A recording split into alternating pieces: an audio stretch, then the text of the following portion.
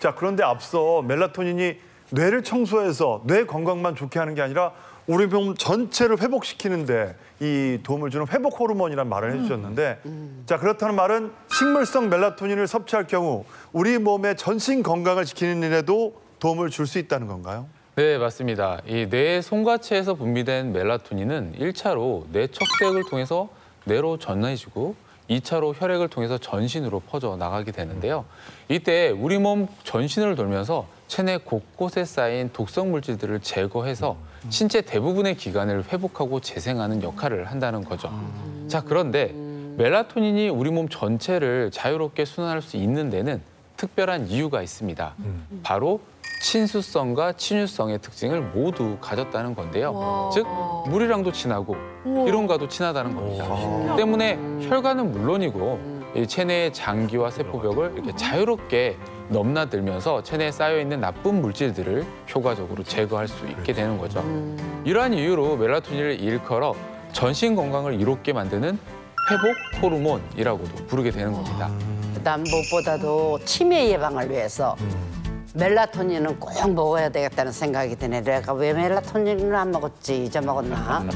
아까 멜라토닌 스- 쌤들이 그랬잖아. 멜라토닌이 부족해서 뇌에 나쁜 물질들이 쌓이고 네. 그게 치매로 연결된다고 했잖아요. 네. 어. 자 그렇다는 건 오늘의 솔루션인 이 식물성 멜라토닌이 우리 뇌를 갉아먹는 베타 아밀로이드를 제거하는 일을 도울 수 있다는 얘기가 되는 걸까요, 원장님? 네, 맞습니다. 앞서서 이 멜라토닌은 뇌의 청소기 역할을 담당한다라고 네. 말씀을 드렸는데요. 영상 속의 건강 고수분처럼 외부에서 멜라토닌을 부족하지만 보충을 해주게 되면은 노화로 인해서 떨어진 글림프 시스템의 청소 능력이 회복이 되고 또 뇌에 쌓여 있던 베타 아밀로이드를 효과적으로 제거하는 일이 실제로 가능해질 수 있습니다. 앞에 놓인 뇌 모형이 보이시죠? 자, 현재는 베타 아밀로이드와 같은 독성 물질들이 잔뜩 껴있는 아, 겁니다. 이- 뭐 색깔이 좀 어, 네. 자, 여기에 식물성 멜라토닌을 아 정말 시켜보겠습니다. 다음 저렇게 깨끗하게 아유, 아, 사이사이에 낀 거. 네. 아, 쏙빼가네, 쏙빼가. 아, 청소기처럼 진짜 청소기네요. 네. 저렇게 됐으면 좋겠다.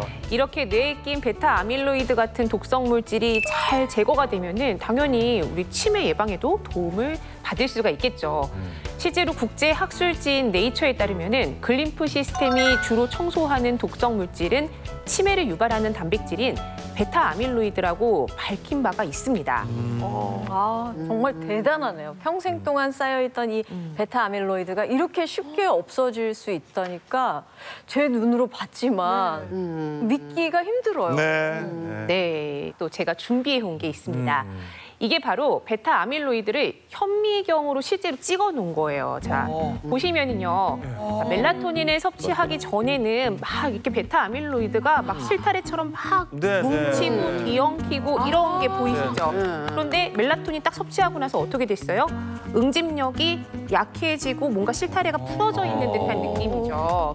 자, 이처럼 멜라토닌이 치매의 원인인 베타 아밀로이드의 축적을 막고 그리고 이 응집을 풀어주는 데도 도움을 줄 수 있다는 겁니다. 실제로 동물을 대상으로 고농도의 멜라토닌 섭취 전후 베타 아밀로이드의 변화를 살펴본 실험 결과 고농도의 멜라토닌 섭취 시 림프관 내 베타 아밀로이드의 배출량이 세 배 정도 증가했다고 하고요. 또 뇌에 남아있는 베타 아밀로이드는 두 배 이상 줄었다는 연구 결과도 있습니다. 네. 아.